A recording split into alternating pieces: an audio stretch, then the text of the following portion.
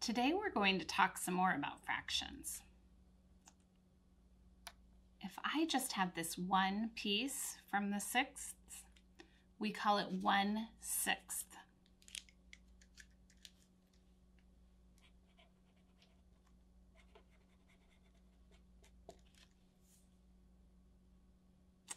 What if I have one piece here? Then we call it one third.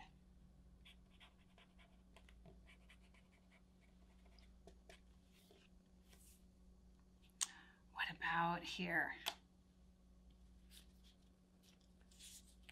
It's one eighth.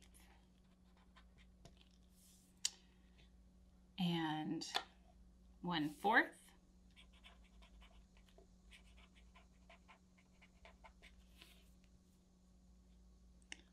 This is one half.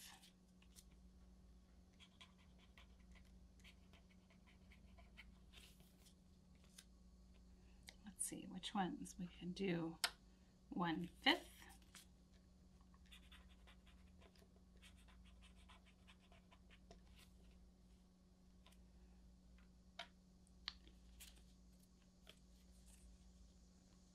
One seventh.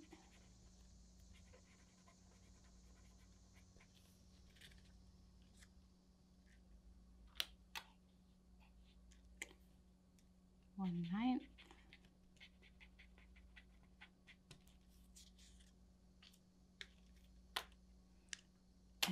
and one tenth.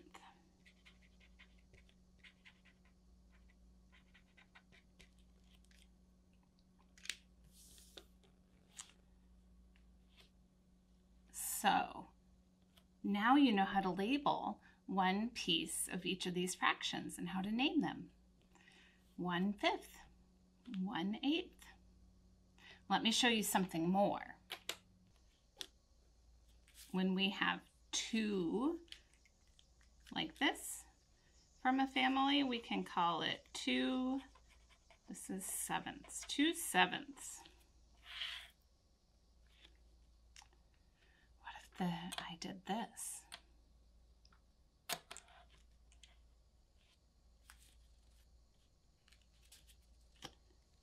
three